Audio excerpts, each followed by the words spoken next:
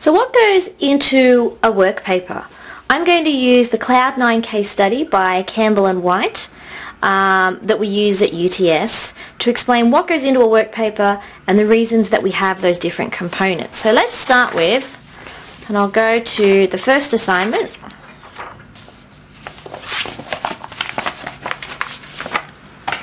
Assignment 1.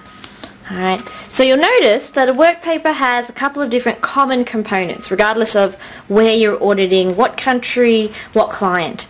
The first is always going to be a work paper reference at the top of the page.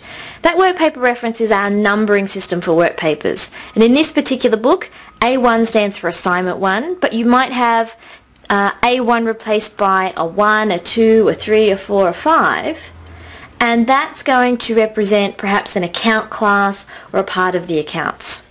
The next section is the prepared by and the prepared by is really really important because it tells us who prepared the work paper.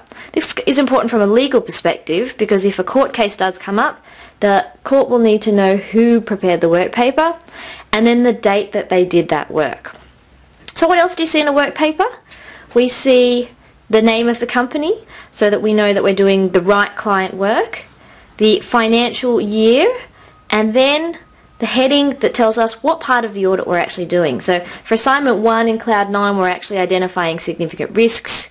In assignment 2 we do other tasks. So the general parts of a work paper that are the same no matter what you're doing, the work paper reference, who prepared it, when they prepared it, the company, the date, uh, or the end of the financial year and the actual part of the audit.